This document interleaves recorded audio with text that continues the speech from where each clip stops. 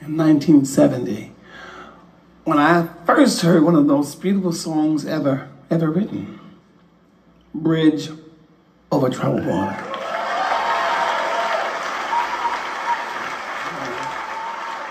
Paul Simon's powerful words and stunning melody, and Art Garfunkel's great vocal, it hit me hard. And it still is a healing song that the world needs more than ever today.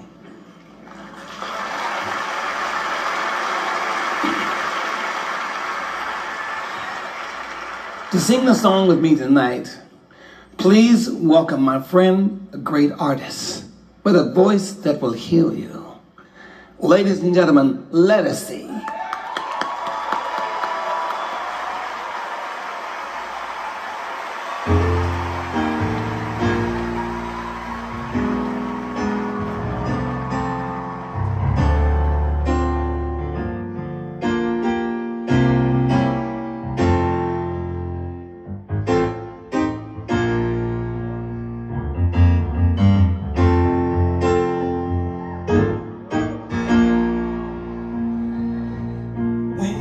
Amen.